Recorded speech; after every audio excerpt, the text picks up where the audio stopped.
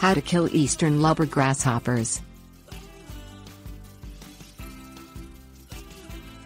Eastern lubber grasshoppers migrate in large numbers and cause significant damage to vegetables, citrus crops and landscape ornamental plants. They are found in the southern states and as far north as North Carolina. They are incapable of flight and can only hop short distances.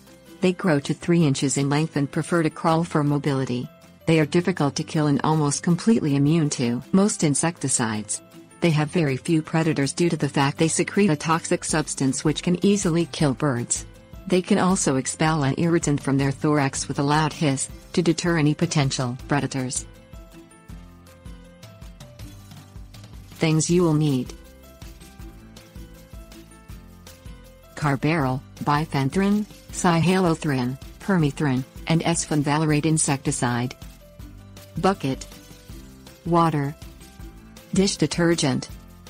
Hand pick the grasshoppers from your shrubs, trees and flowers.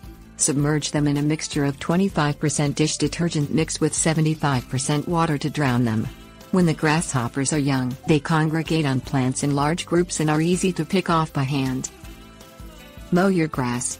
Eastern lubber grasshoppers like to live in tall grass. Keeping your grass cut low will discourage them from residing in your yard and consuming your garden.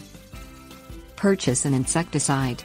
Choose an insecticide that contains either carbaryl, bifenthrin, cyhalothrin, permethrin or S-fenvalerate, for control of large infestations.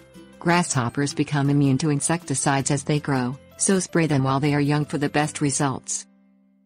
Apply the insecticide directly to the grasshoppers. The insecticide residue on plant foliage will not be strong enough to kill the grasshoppers. They will require a direct application and you may have to spray more than once to kill them all. Tips Warnings The grasshoppers are harmless for humans to handle. When hand-picking grasshoppers be sure to wear old clothing. The regurgitated substance that a grasshopper spits out will easily stain clothing. Cats and dogs may try to eat eastern lubber grasshoppers. Immediately stop your pet from this action because the grasshoppers will make your pet sick.